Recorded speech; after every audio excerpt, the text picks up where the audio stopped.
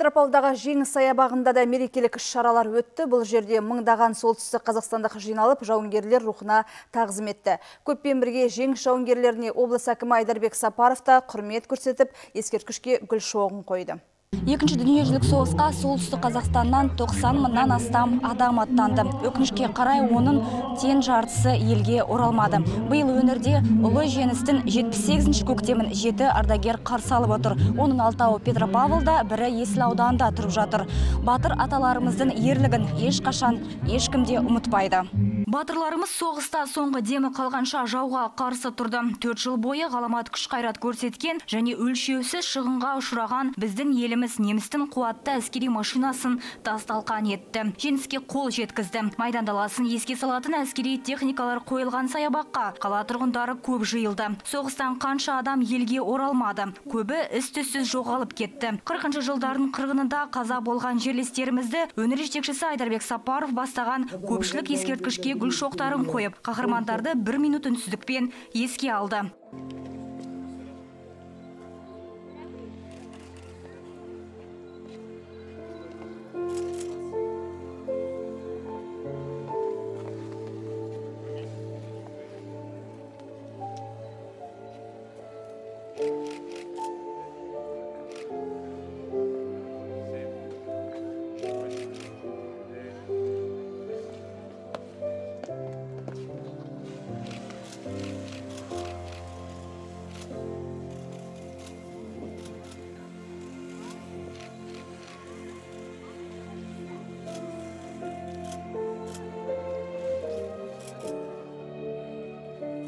Жеңіске жету жолында қару асынып қан майданға аттанған жауынгерлермен бірге тыл еңбеккерлері де аянбай еңбек етіп тер төкті. Яғни майданды азық түлік пен әйелдер, балалар мен қарт адамдар қамтамасыз етті. Бейбіт заман сыйлаған ерлеріміздің есімдері ұрпағының мәңгі жадында. Олар батырларымызды ешқашан ұмытпайды. Я родная племянница героя Советского Союза Абуту Сухамбетова.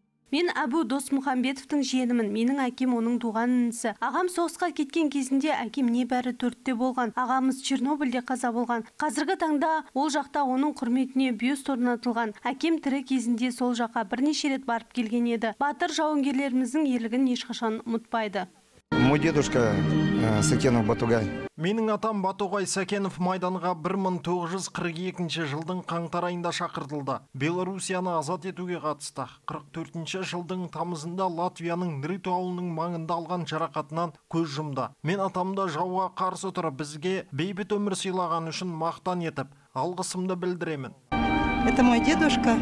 Атам Рашид Исаев майданға 17 жасында аттанды. Өкінішке орай елге қайта оралмады. Әжемізге атамыздың Германияда көз жұмғаны туралы қаралы хабары мен киімі жіберілді. Ол кісінің сүйегін іздемек болдық. Алайда нәтиже жоқ. Атамыздың ерлігін ұмытпаймыз. Ұрпақтан ұрпаққа айтып жүреміз. Сондай ақ бұл күні жеңіс саябағында концерт ұйымдастырылды. Өнер өнерпаздары әскери патриоттық әндер орындап би биледі. Көріністер қойды. Майгүл Сейілбек, Әділ Нұржанов, жаңалықтар қызметі.